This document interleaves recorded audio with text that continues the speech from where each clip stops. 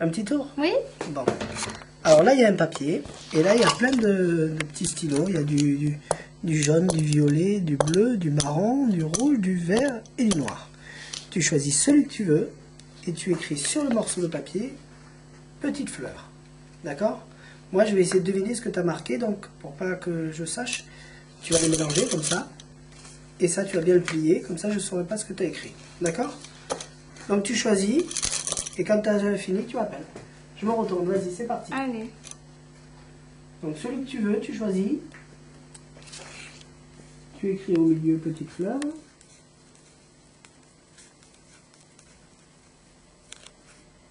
Je plie. Et là, tu plies en deux, en trois. euh, faut pas que je vois au travers. Très important. Ça y est. T'as rebouché le capuchon? Oui. Tu... C'est bon? Je mets dans la boîte Non, tu laisses tout comme ça. Non. Bien. Je me retourne. Oui. Donc ça peut être celui-là. Non. Je sens quelque chose sur le papier.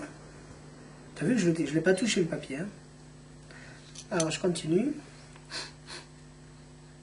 Non, c'est pas celui-là non plus.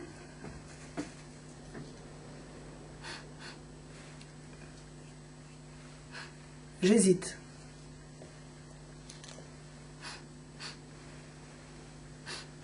Ah, j'hésite aussi.